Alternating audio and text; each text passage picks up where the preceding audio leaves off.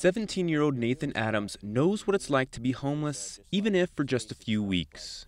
More like just Sharpies in order to label this stuff, or just. A few years ago, a wildfire temporarily displaced him from his home. In that experience, I learned about how terrible it would be to be like homeless and just have no opportunity. That short experience motivated him to found a nonprofit called Wellworn. Our sole mission is just to clothe the homeless and give them like decent clothes and just make them overall cleaner and able to integrate more into society.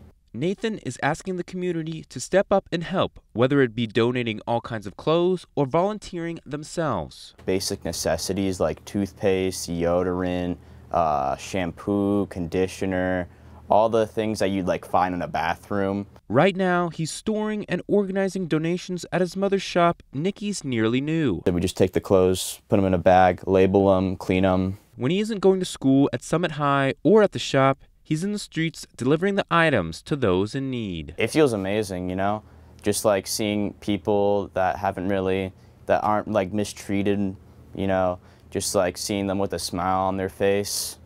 It's uh, really heartwarming. That short experience motivated him to found a nonprofit called Wellworn. Steele Haugen, Central Oregon Daily News.